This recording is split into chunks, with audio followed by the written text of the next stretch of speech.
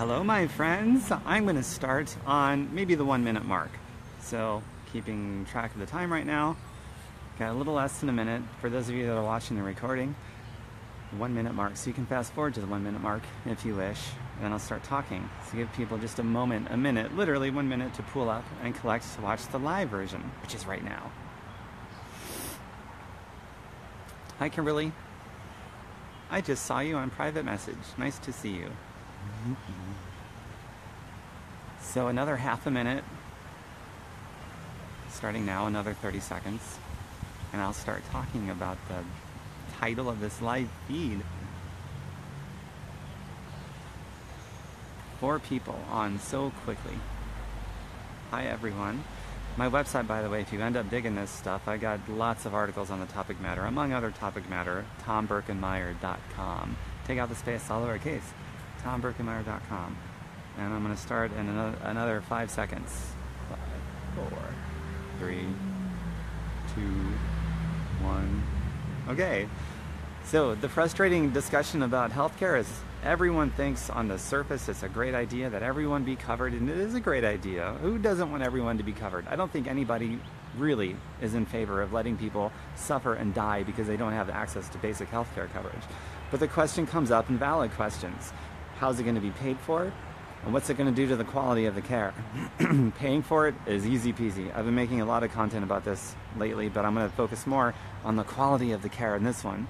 Um, so, but in real quick review for those of you that haven't seen me talking about it, to have it paid for, easy peasy. Corporate welfare, nobody agrees that billionaires should be getting welfare of any kind. It's not meant for them. But we do it in the sum of two to five trillion dollars every year. So we take corporate welfare away and we shuttle that towards single payer Medicare healthcare for everybody. And that would only cost less than a trillion dollars. So that leaves more than a trillion dollars on the table after everybody's covered. Nobody pays more in taxes. Everybody's covered. Easy peasy. It's like first grade level math. Two minus one is one. So paid for with an extra trillion left over. Easy peasy. Paid for. Done. So the quality of the care.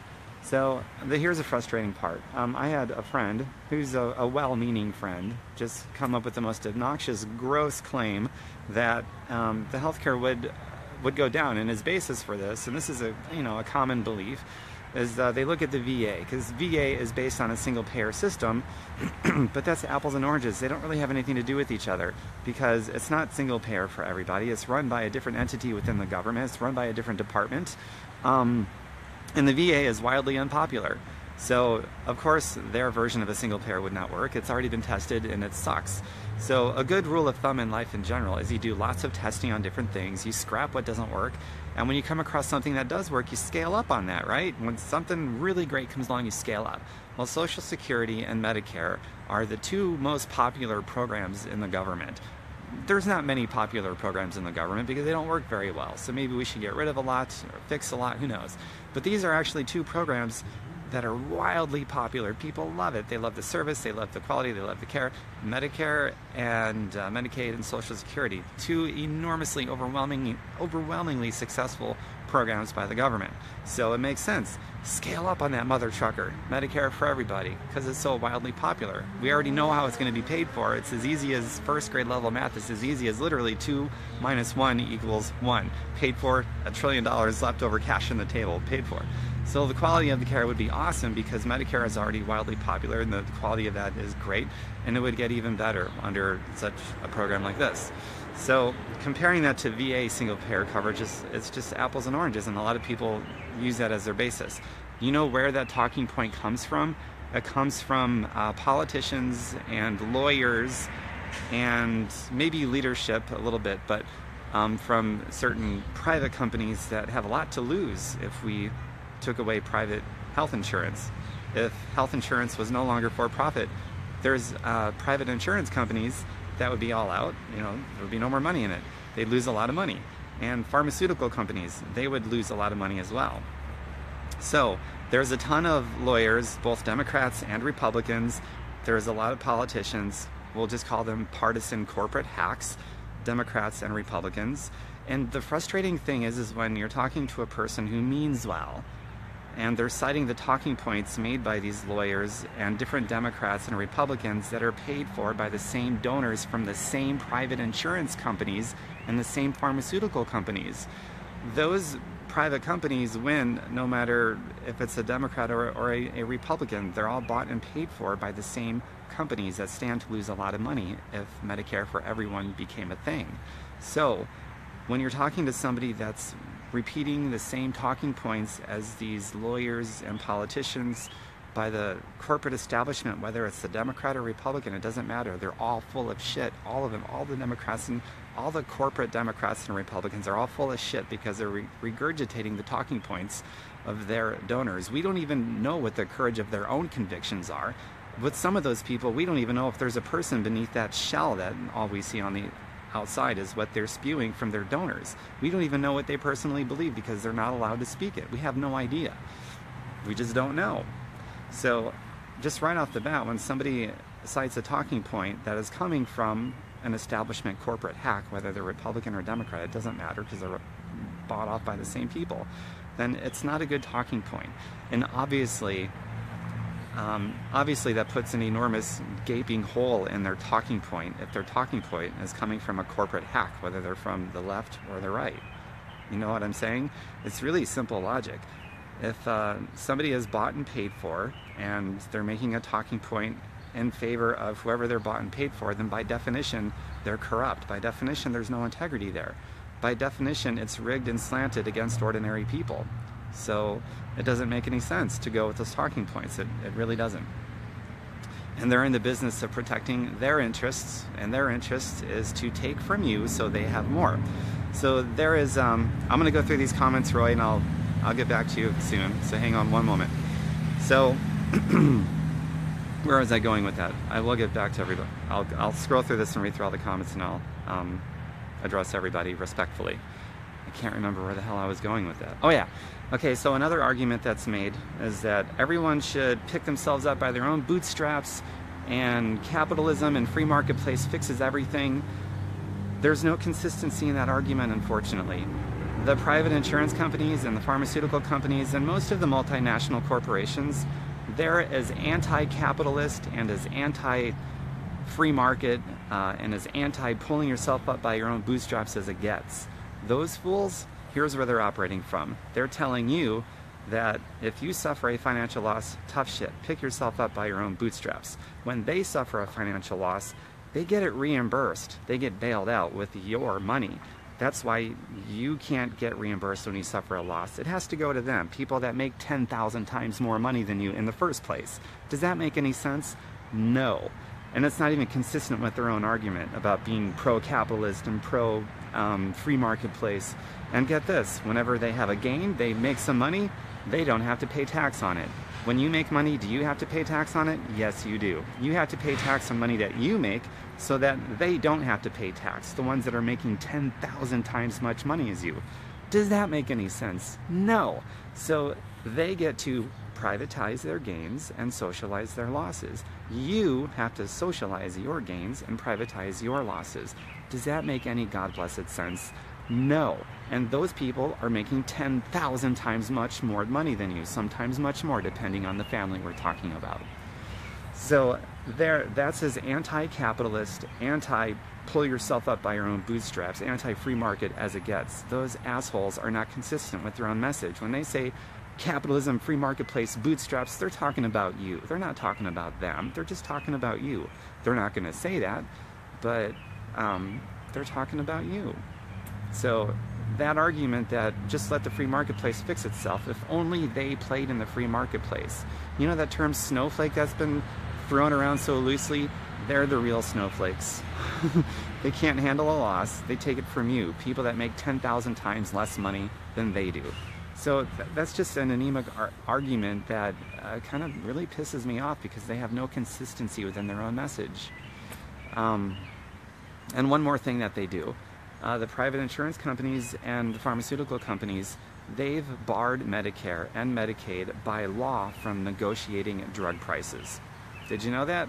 That's why they price gouge the fuck out of you. They can mark a drug up 500% times more than what it should be, and there can be no counter to it because it's barred by law. They can charge whatever the flip they want and nothing nobody can do anything about it.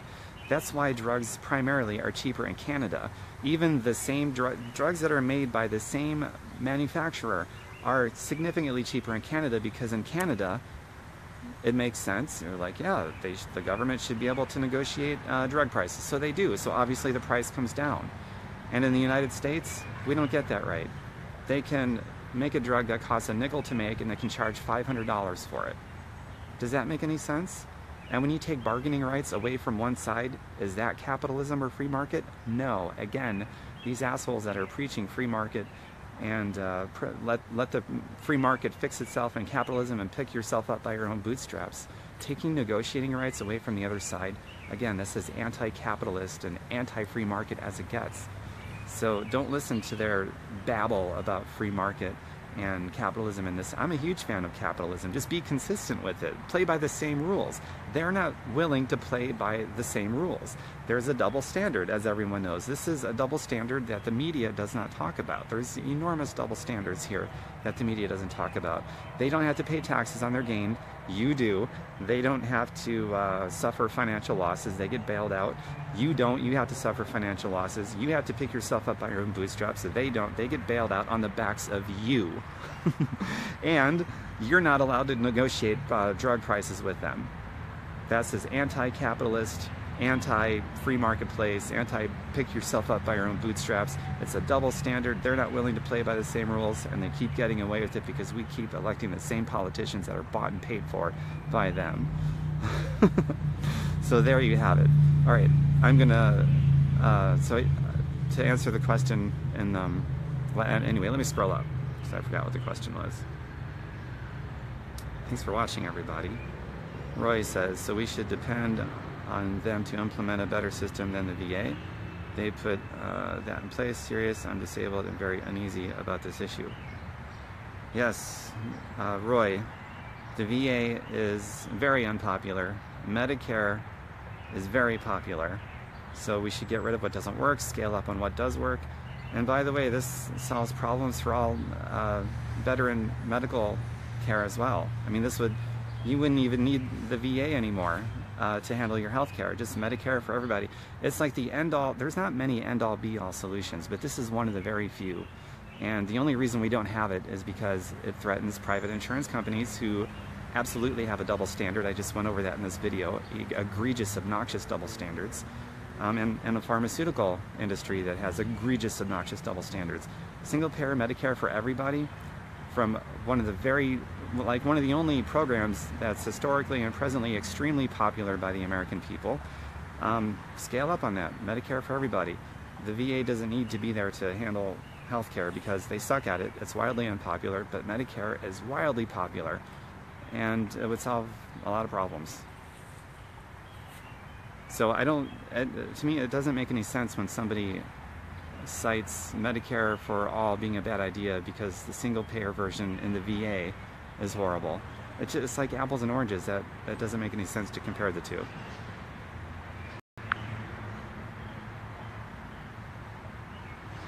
Work injury in Michigan enforced into work comp substandard care. Yeah, again, as part of the umbrella of an end-all be-all solution, Medicare for everybody would I mean, would take care of that.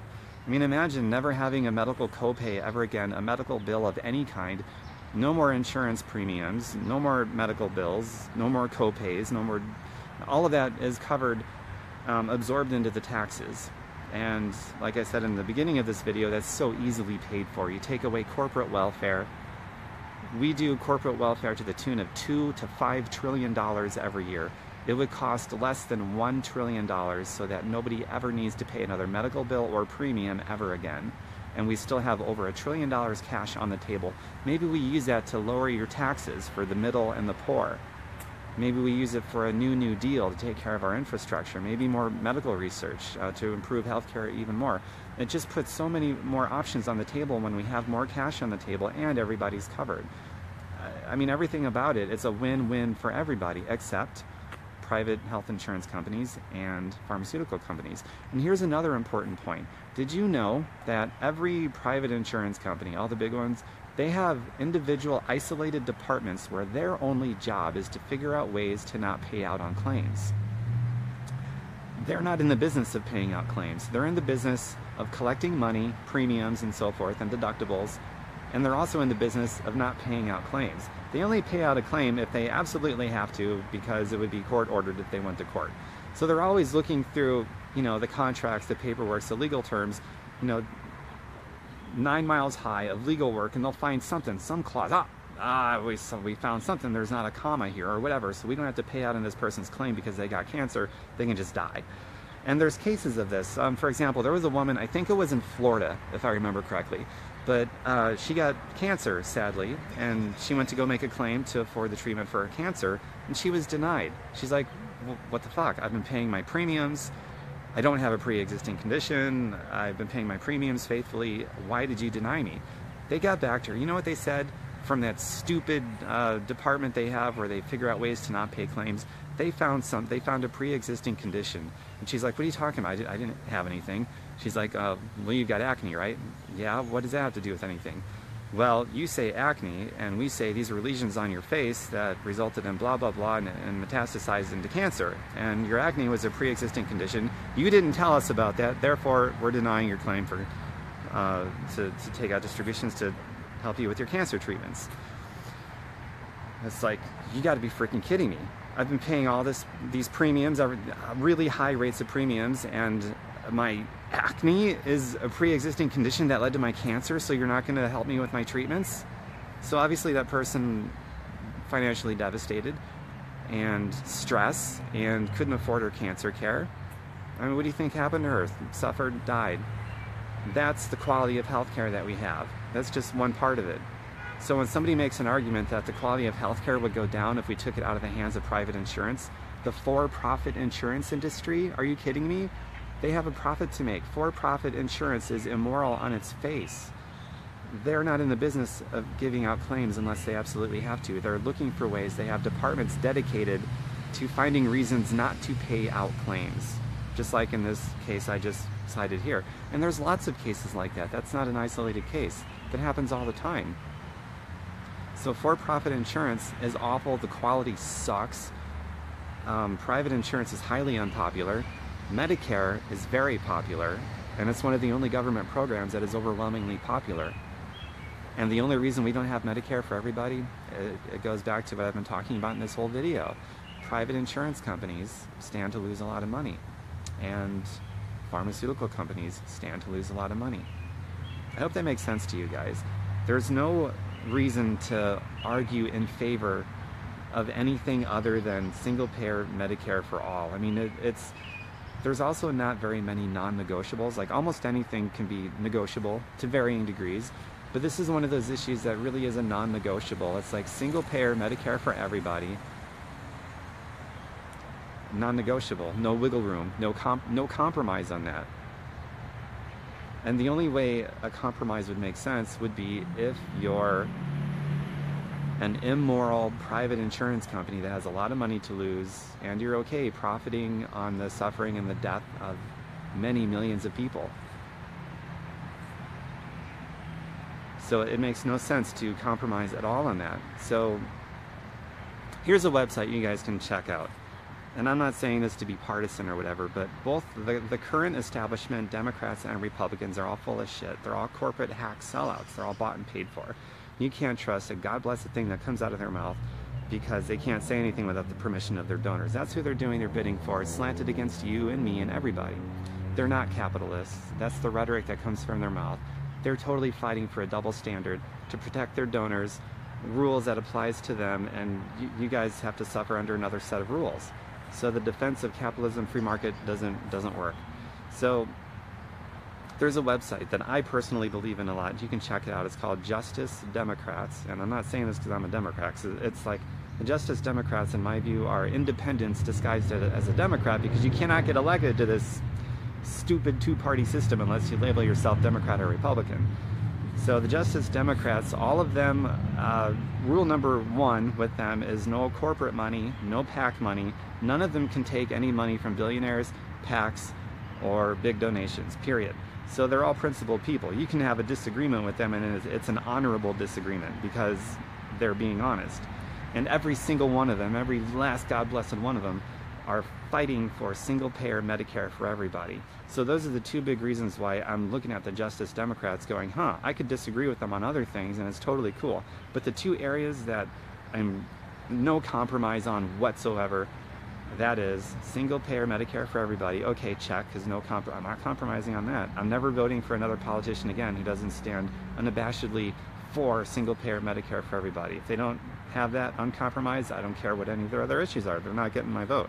And the other thing that's a non negotiable, no compromise, is they cannot take any more donor money, no PAC money, no billionaire money, period. So, and check. So every Justice Democrat, they meet those two standards.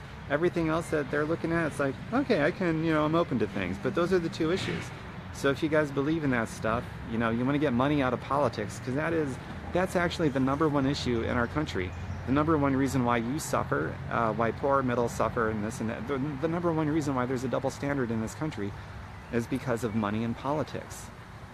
Democrats, Republicans, it doesn't matter. They're all full of shit because they're all bought and paid for to do the bidding of their donors, which slants and rigs the system entirely against you. So, money and politics is the big umbrella that affects all other issues, including single payer Medicare for everybody. It affects everything.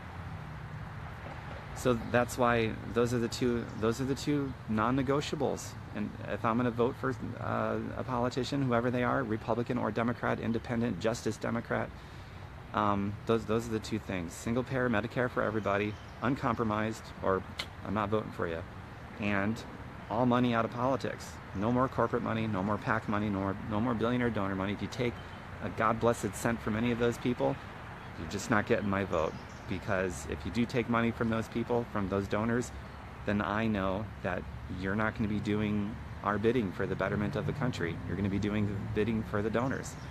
And the reason I'm making this video is because I want you guys to become aware of that and to start looking around and doing your research, following the money, see who's taking the money from who. And if they're taking the money from anybody, that's just, sorry, I'm not voting for that person.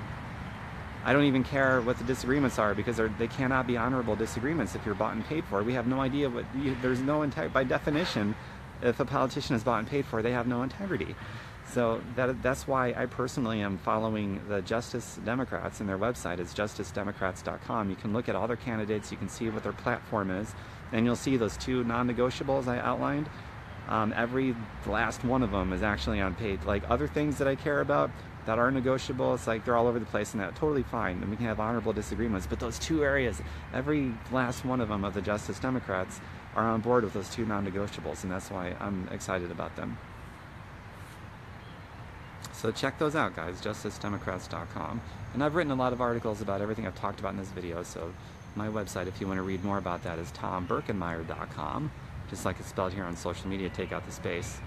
All right, I'm going to go catch up on the comments again. Let's see here. Hi, Christy. Nice to see you. Hi, Karen, Jamari, Kimberly. Thank you for sharing this, Karen, and others who have shared this. This should be shared. It's it's not. Don't share for me. Share because this message is important, and we want our country to be represented again, right? Let's see. Roy has another comment. Let's see. Work injury in Michigan forced to. Work. Oh yeah, that's right. I already read that one and, and um, commented on that as well. You are so right on. Thanks, Deb. I'm dealing with many issues with work comp not paying wage loss, paying for scripts, court ordered, child support. List goes on. Whoops. This uh, list goes on. Are you okay with this as care? No, Roy, I'm not okay with that as care. That's why we made that comment a long time ago. So hopefully you heard everything I said since then. But no, because that sucks. That's why we need Medicare for everybody, because those things would not even be a thing. You just listed a few of many reasons why we need Medicare for everybody. You're dealing with workman's comp, uh, not paying lost wages, uh, paying, you have to pay for scripts, uh, court-ordered child support. This goes on and on as it's related to healthcare, Medicare. You would never receive another healthcare bill again. You would never have to pay another premium. I mean, I've talked about all this since you made that comment, so I'm, I'm I mean, I've already addressed all this, so I'll just say you can go back and watch the video if you want, if you missed any of it. Our government is bought. Yes, it sure is. I'm neither Democrat or, or Republican. Screw that. Exactly. Exactly, Deb. I'm uh, very independent. But the reason I like the Justice Democrats is they're not even Democrats. Um, their goal, here's another reason I love them. They're, uh, I already said they're independents disguised as Democrats because you can't win elections in this stupid two party system unless you got the label of Dem or Republican. But their goal, and they're very transparent about their platform. If you go to their website, justicedemocrats.com, their goal isn't to reconcile or unite with the current Democrat establishment. Their goal is like um, Democrats, you don't represent the people, so step aside, get out of our way. If you don't, then we're primarying you and we are taking over. So how's that for ballsy? Because the current Democrats and Repu- well, Republicans actually have balls, but they're on the wrong side of the issues. Democrats are on the wrong side of the issues and they have no balls. The Justice Democrats, they're on the right side of the issues and they got huge freaking balls. They're just flat out saying, listen, corporate Democrats, establishment Democrats, we're the Justice Democrats. Either represent us or get the fuck out of our way, step aside, and we'll take over and we will actually represent the people. And if you're not going to step aside, then we're coming after you. We will primary you with our candidates who are taking no donor money, no PAC money, no billionaire money, so they're all principled people and we are forcing you out of office. So either represent or get out of our way, or you'll be forced out. That's the Justice Democrats platform. That's what I'm talking about, man. I mean, that lights me up. That's freaking sweet. All right, let's see here. Have proof of all things stated below, not blowing smoke. I hear you. Hi, Cesarina. Nice to see you. Hi, Brenda. Don't feel either system works. If you mean Republicans and Democrats by either system, you're right. That's why I just stated it. That's why I like the Justice Democrats. They're they don't want to reconcile with the current establishment. They just want them to step aside so that they can take over and represent. I totally agree with you, Tom. Single payer health insurance is what we need in this country. Big corporate insurance companies are all about money. Great video. Thank you, Lisa. I had to check out Justice Democrats. Yes, Karen, please do. JusticeDemocrats.com. Go read their platform, guys. They're very transparent about everything. And as I said already in this video a few times, um, they're principled. There's no, they, they take no donor money, no PAC money, no billionaire money. Um, they don't take any of that stuff like our current politicians do on both the left and the right, the Dems and the Republicans. They, they, ta- they take billionaire PAC money, therefore they're totally bought and paid. Nothing they say matters. In my opinion, whenever whenever you're going toe to toe or head to head or talking to a politician that takes any donor money, you should be like, okay, have you uh, rejected all donor money yet? They could be talking about healthcare or the economy or the foreign wars and foreign policy and it's like the first thing out of my mouth if I were talking to any of them would be like, yeah, yeah, okay, those things are important, but have you rejected all donor money yet? And if the answer is no, then the conversation's over because it's not going to be a principled conversation at all. They're just going to be doing the talking points of whoever they're taking money from. I mean, the conversation's over. It's like talking to a person that believes the earth is flat. Conversation is over. I'm not listening to this nonsense. Um, so if you don't get on the right page, all due respect, politely but clearly stated, uh, we're voting you out. And that has to be the attitude of like all of us. It, it really does. So yeah, check out Justice Democrats, man. well, this was a fun live feed to make, everyone. Thanks for watching. I'll leave this go for another minute if there's anything else anybody wants to say. I hit, I think I hit everything I wanted to talk about, and I didn't even have like notes in front of me. Like usually I have to have some bullet points so I don't forget anything important, but I believe I got everything. So I'll let this go for another 30 seconds or so in case somebody else has something they want to add to the conversation.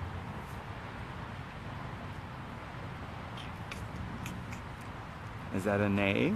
Yay or nay?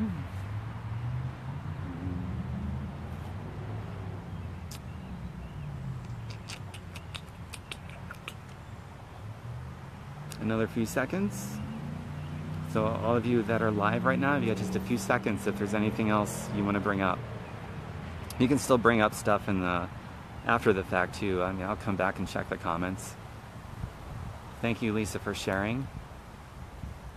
Alicia, I'm happy you think I'm cute, but this video is so much more important than how I look. I mean, this video is a trillion times, the messaging in the video is a trillion times more important, but thank you. Mm. All right, everyone. I'm going to end this now. Seems like everybody got everything off their chest. And if you're watching the recording, feel free to leave comments anyway. I'll come back and I'll check the comments later. So share this, get the messaging out there.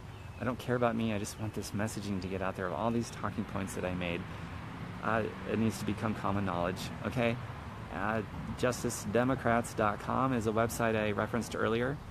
They're not, they're not really Democrats, just so you know. justicedemocrats.com. And they're not Republicans either, believe me. And uh, and I've got many more articles on this topic matter I talked about at my website, tombirkenmeyer.com. Tombirkenmeyer.com. Spelled just like you see it here, take out the space, all lowercase. So have a beautiful day, everybody. And you just tuned in. Okay, cool, Alicia. I'm about to tap finish right now, so give it a minute to process. Probably less than a minute, it'll be available on my Facebook. So please go back and watch, and I think you will really dig the crap out of this. You too, Sherry. I saw you just signed in. Go back and watch. I think you'll dig the crap out of it because I'm just finishing now. This was a great live feed, everybody. So take care. Have a beautiful day. Bye for now.